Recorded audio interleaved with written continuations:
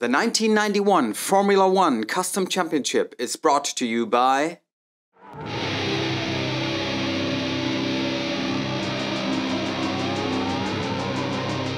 Welcome to the showdown. Welcome to the title decision in Japan. Welcome to the unique Suzuka circuit. There's still five drivers who can take the title. The best prospects are Nigel Mansell and Ayrton Senna, who are tight at the top of the standings. For a footwork driver, Timo D, currently third in the championship, it must be all in. He's doomed to win and must hope that Mansell does not finish second. Again, pretty, pretty astounded, perplexed even. 3.6 seconds to Nigel. You know me, I'm not alien, so it must be the discrepancy in the AI's performance level depending on, on the track. It's interesting because look at the, the footage up here. My actual fastest lap, 141.9. And on that lap, I actually overtook not only Mansell, but four other cars. And still was about four seconds faster than Mansell. Yes, they are extremely slow on this circuit, especially in some uh, specific corners. It feels like they do not even touch the, the throttle in these corners. Very interesting.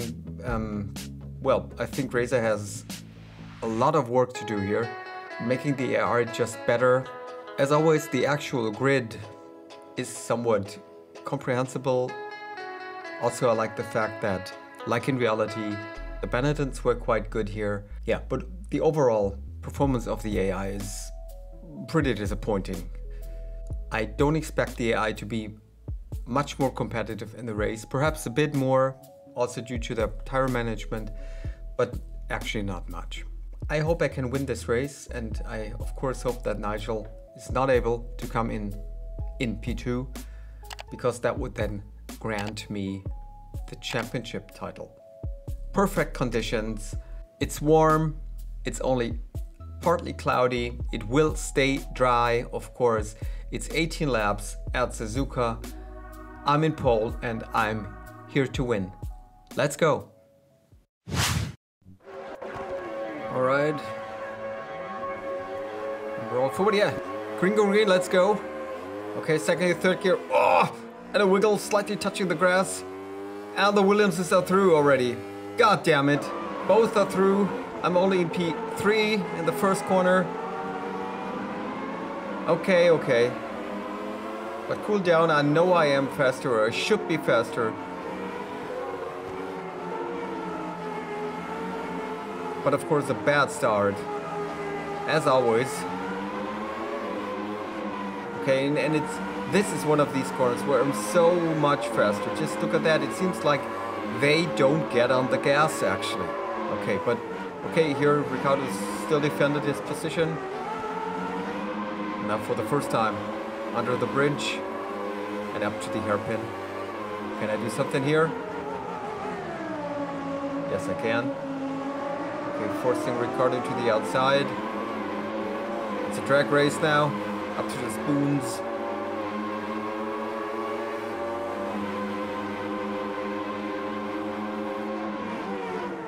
I'm braking that tad later and I'm through. Now chasing Mansell. And look at that, that's the second spot where they don't just don't seem to accelerate. So easy to get by, so easy to pass. I don't understand that. That's clearly a mistake in, in the code. Okay, nevertheless, first time through the, through 130R and now to this old hairpin, which I like pretty much because it's pretty difficult uh, to brake into. There's this little bump just in the middle of your braking zone and of course it's slightly over a crest. You don't see the, the entry, it's pretty blind. Not that easy. Okay, first corner always pretty difficult. I don't shine very much there actually, the, the AI is faster. But through here, through the S's, now look at that. Okay, and from here on, Also, and again, they don't accelerate. Up to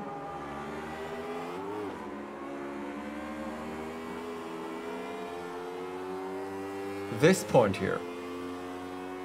That's where they get, seem to get on the gas again. Pretty strange behavior.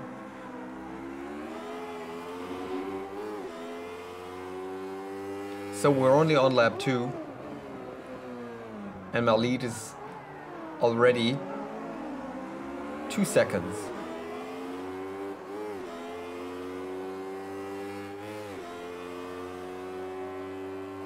Approaching the spoons for the second time, which drives wonderfully with this car. The second spoon and this slightly, slightly falling, falling road. It's it's not difficult, very difficult in this car, but it is in other cars, GTs for example. Okay, three seconds, three seconds in one lap.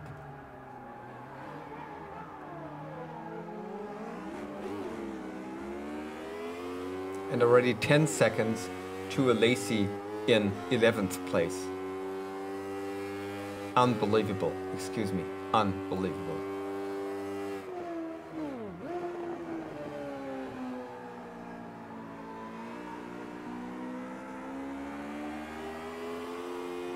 This of course is with my, yeah, it, in all modesty, with my limited skills, a really skilled, proficient driver I think could even go a second a lap faster easily.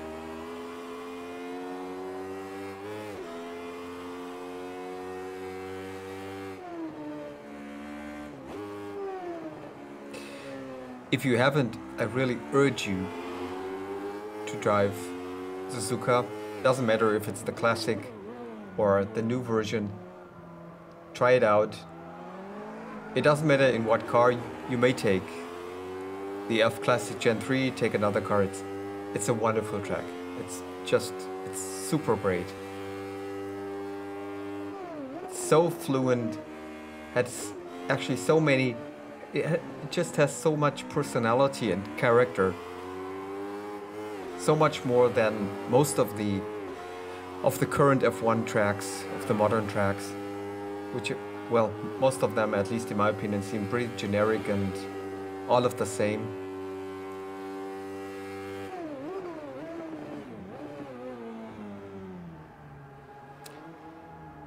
Yeah, so far it is a pretty easy race. Five seconds, more than five seconds after three laps is my lead. And also the tire wear is pretty okay. It looks worse than it is at this moment. I plan to do one stop whenever the tires feel worn. But through here, through the S's on lap 4, I don't feel anything, it just feels perfect. There's no understeer, there's not, not much screeching or squealing. Everything fine. Still able to set very good lap times. I actually plan to go in between lap 7 and 9, perhaps slightly before the middle of the race, because in the second part the, the car will be lighter and the wear will not be that great. Through the spoons, 1 and 2. If you hit the line, it, it just feels wonderful, like it has to be.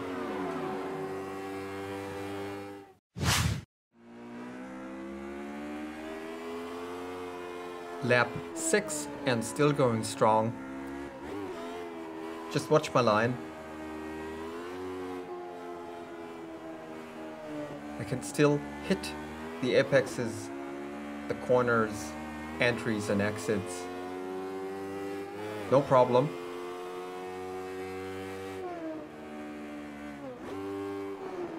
In these two corners, especially in, in the first one, the problem is not to unsettle the car too much, not, not to uh, shortcut too much to unsettle the car. Because if you aren't lucky, the car bounces to the left and then onto the sand, onto the, the gravel.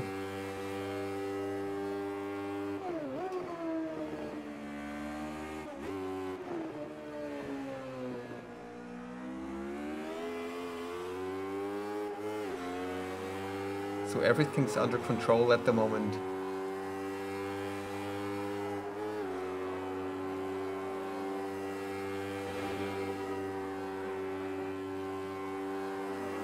One point damage on the engine, but that's normal, nothing special.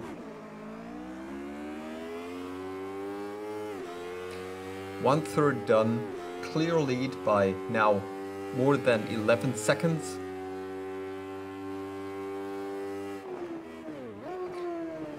That looks very promising, very promising.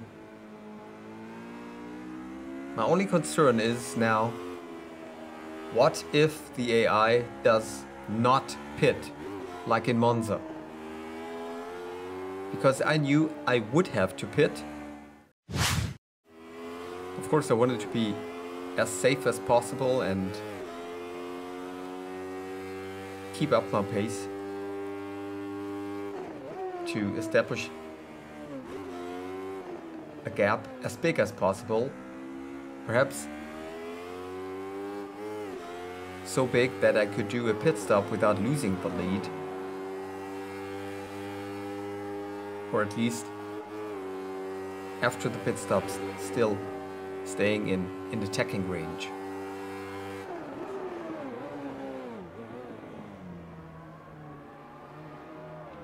So lap, lap 7 now.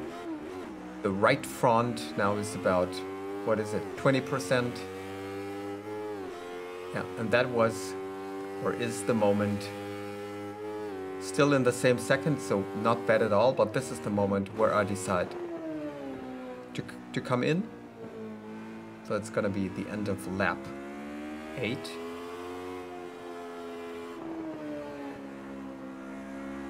My lead is now over 12 seconds.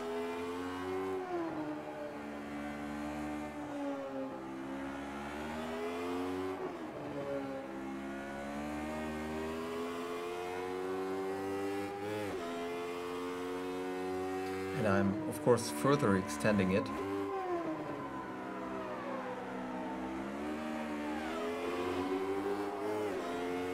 But it also was clear that I wouldn't be, I wouldn't stay in P1 after my stop.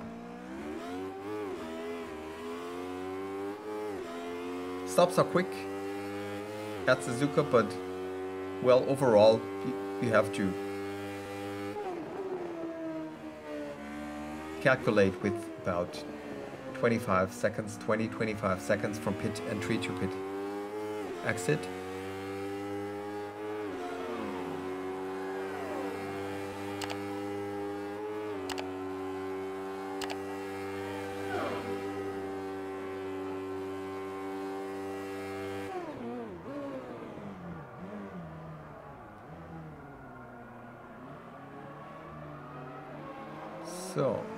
To come in. Here's the entry. Pretty good. Accelerating up and down.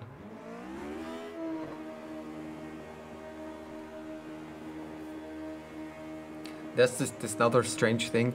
Why does the car brake so much in front of the pits, namely here? That's also a thing we, we should communicate to to Reiza because that's really not necessary and it's it's also unrealistic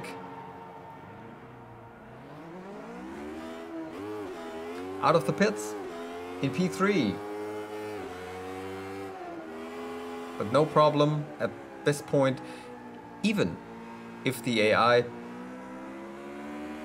in this case, Patrese and Mansell, don't do a pit stop, I will be able to catch them. New tires, lighter car, should be able to go even faster than in the first stint.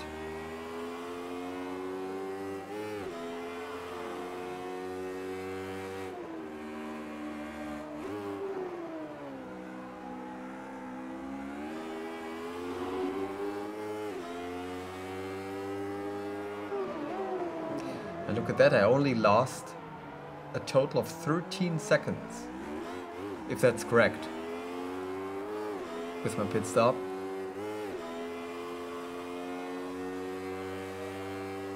Well, actually, that cannot be correct because I'm now about 6 seconds behind Nigel and was 13 in front before the stop. But anyways,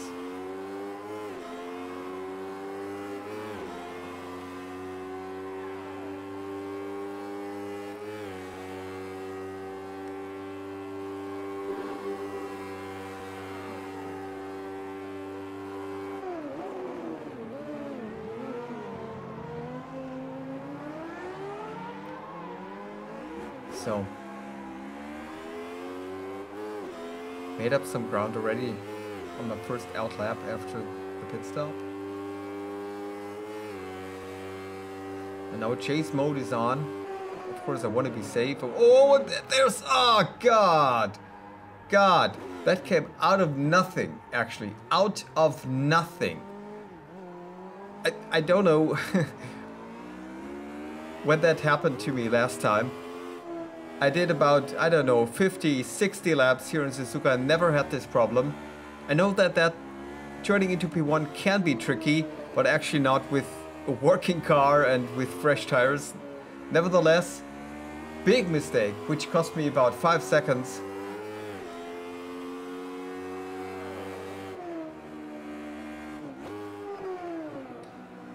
But remember that guys, that will play a role actually in the end, without giving away too much now.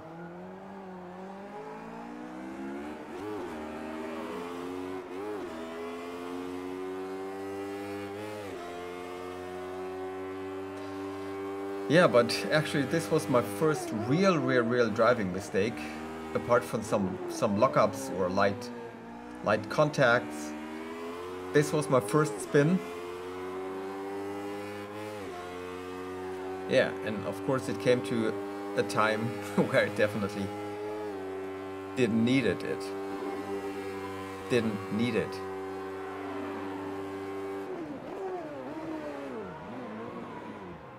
Ugh. Bit too late here. Ugh.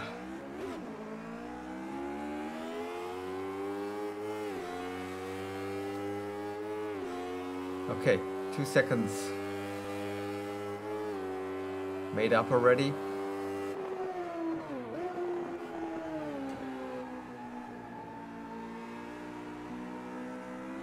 I think the problem with the spin was that I shifted down too early and the revs were just too high so that the rears locked.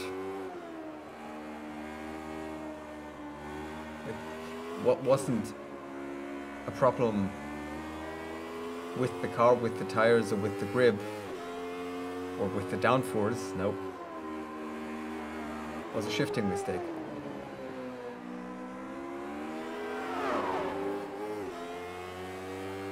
Okay.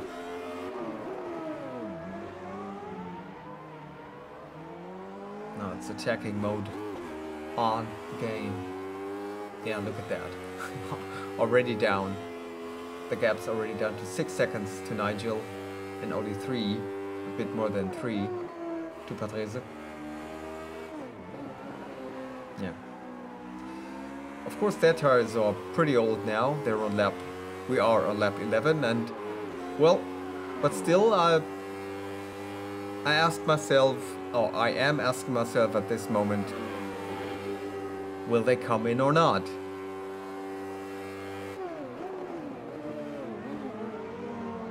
Oops, too early in. Completely messed up the line. But never, nevertheless, quicker than Patrese.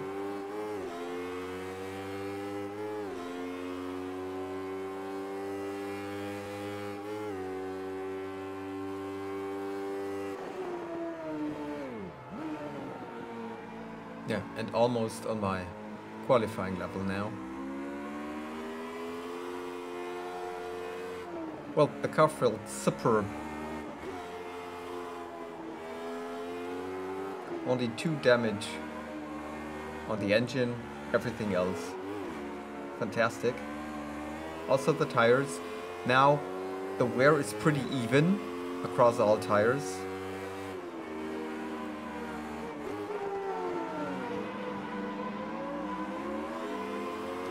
So this now is almost a attacking range. So here we are, Riccardo directly in front of us. Yeah. And then again, watch the exit of the spoons, of the second spoon. One, now shifting down to third, second spoon, and now look at that. Excuse me, excuse me, as far as I know, the throttle pedal is on the right. Maybe somebody should tell Riccardo.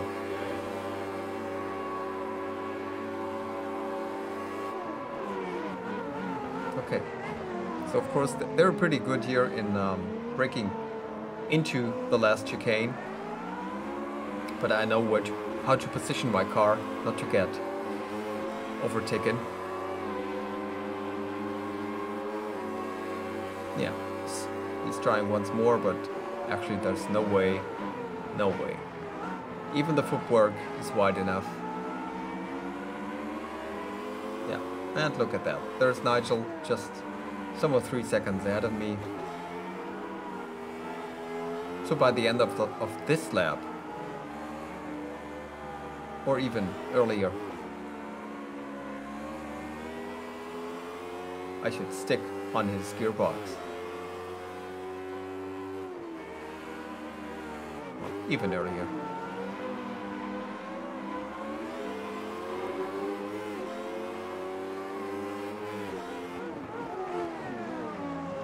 Hmm. okay, that's a deja vu. Like on the previous lap.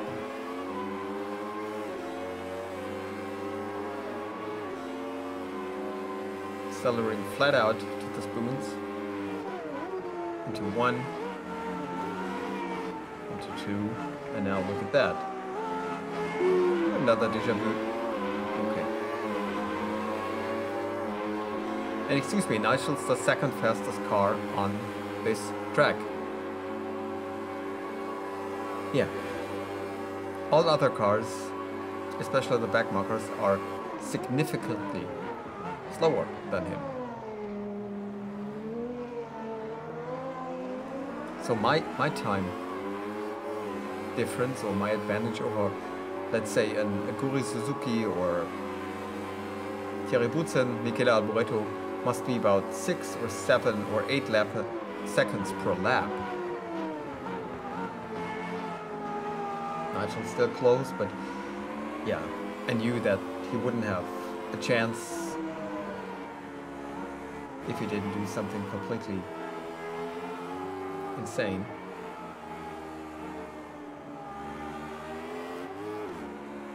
Okay, this is the part where I always got away. I love this complex here. You can almost drive it as, yeah, well, as one corner or, or is in one, in one floating movement if you get it right.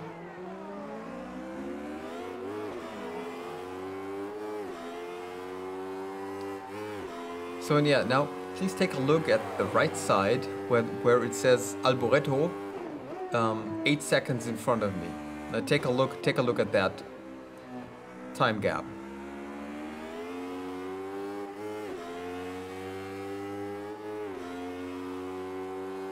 Now it even says 12.9 and at that moment I thought now it's back down to 765 already. I mean, excuse me, but what do these numbers and figures want to tell me? Uh, okay, it's up to 9, it's up to 10, but I can see him there, just, yeah, turning into T1.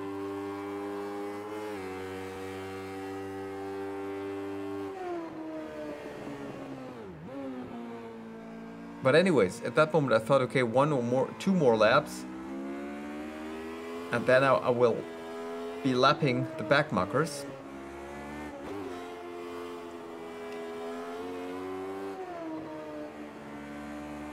Yeah, and also at that time, yeah, I was pitting. Yeah, I was pitting, so completely safe for me now. They were pitting, my, my lead was more than 20 seconds, 25 seconds, and I got closer to these backmarkers. Yeah. Yeah, within half a lap, well, closed, closed the gap from about 10 seconds to zero. Okay. And look at how slow they are. Ugh, almost touching Alboreto. Almost. So slow. One, two, three, through. In, and of course now they're on the throttle, okay, that's about my speed, but through that second spoon it is...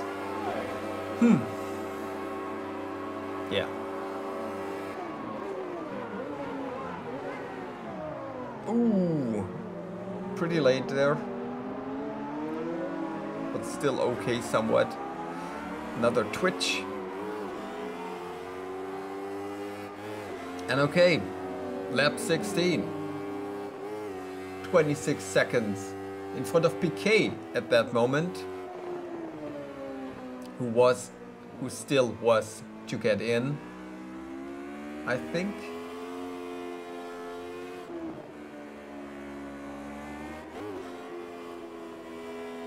Now approaching the next group of back markers. Okay, accelerating out of this corner where was super quick and now look at that. Look at that. Thinking about going passing him or not. He's going somewhere and bam! Bam! The mistake of the season. The folly of the season. Yes, of course, my mistake. Super bullshit. He almost he almost braked into a standstill there. I didn't expect that, to be him so slow, and even with that damage, 38 on the front wing and 47 on, on the right suspension, I almost overtook him into the hairpin. And now that that thing's next thing happens, look at that. Bam! Alboreto, my teammate, bumping in, into my rear. And that sort of gave me the rest. Because even more damage, and now I had another disadvantage, which was, yeah, uh, waning top speed. Even Alboreto was now able to go through. And I, at that moment, thought, well, come in or not, the, the, the team wants me to get in. The team wants me to get in. But look at that, my, my advantage is still 18 seconds. And I thought, no, no, no, Mansell won't be able to uh, to make up 9 seconds or even more per laps, which you would have to do if you wanted to win that race. No. So I kept out. I kept out, was lucky here because Alboreto went into the pits, so free road, clear road ahead of me. And even with that damage, I thought, hey, I can't do this. I can't do this. Just keep out. They're so slow. I can't do this. I can. I can impersonate Lewis. Ooh, yeah but it wasn't perfect, of course. Right suspension, pretty much understeer, but but that's still okay. And Nigel, okay, he made up six seconds in almost half a lap, or three quarters of a lap. But that still didn't look that bad. Yeah, I wanted to impersonate. I thought I, I could impersonate Hamilton. Remember Silverstone 2020 with the puncture? Verstappen chasing him down, but he made it, finishing the race in P1, winning. So okay, Nigel still 11 seconds behind me. He didn't make up any ground. Now it's 10.7. 10.3, 10.2, of course. But also, also knew, okay, through the spoons, I should be able to keep the gap up through spoon two. Okay, also here, understeer, understeer, but okay, it's okay. But bam, down to seven seconds. And there I noticed, shit, their top speed is, is so much better. And they can brake so much harder, or at least Nigel can. That's gotta be tight. Okay, he made up almost 10 seconds in the last lap, or he made up 10 seconds in the last lap. And this is gonna be hard. This is gonna be hard. Only six seconds. Ooh. Can I keep him behind me? Of course, at, at that time, the car wasn't feeling alright. Look at the, the tire uh, temperatures. The rear was somewhat foobar. And steering, of course, didn't get easier. Now, Nigel, three seconds, which he made up just between the hairpin and T1. And he, here comes the corner where I suffer. Uh, Nigel, 1.9, 1.8, 1.7, 3,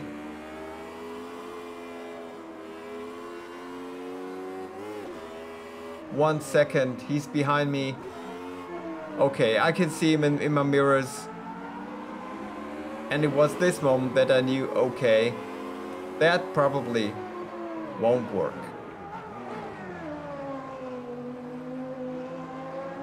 Accelerating out of the hairpin. I gave everything, it's full throttle. But hey, there was nothing I could do. Excuse me. He was faster, he could brake later. He got through. He got through. Was a tactical mistake by me, but actually guys, I think going into the pits would have even been worse because then I would have lost the time driving into and out of the pits and also I didn't know how much the repair time would have been. 10 seconds, 20 seconds, 30 seconds. So I had to gamble here. I had to go all in or nothing. Well, actually, it's not nothing, but I lost to my championship rival, Nigel Mansell, who in the end wins that race at Suzuka. And I got in in P2 just in front of Riccardo who finishes third. Well, yeah, guys, uh, that's it. And you know what? Remember my spin on lap, what was it? 11? That actually cost me between 4 or 5 seconds. And that is about the time which I lost to Nigel on the finish line. These are the results of the Suzuka Grand Prix in my custom championship. Well, Nigel won it, 4 seconds. Yeah, in front of me. Riccardo completing the podium. Everybody else, well, pretty far behind. Berger, fourth. Piquet, who in the end also did one stop but ended up in fifth. Good performance by him. Best Benetton result of the season. De Cesaris in sixth.